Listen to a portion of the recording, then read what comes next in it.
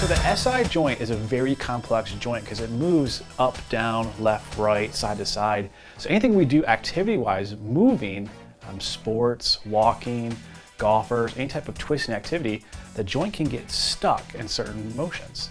And what happens here is your muscles in the low back, the muscles in the, in the glute region, the muscles in the lower legs, all attach to the SI joint. So your muscles are very smart. They supply a function and they also protect.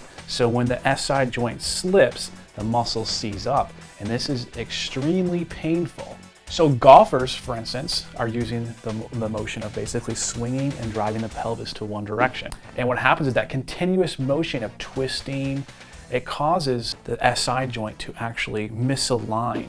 And when the, the pelvis rocks back posteriorly, the muscles will seize up and protect. A lot of people have their back go out of them for that reason.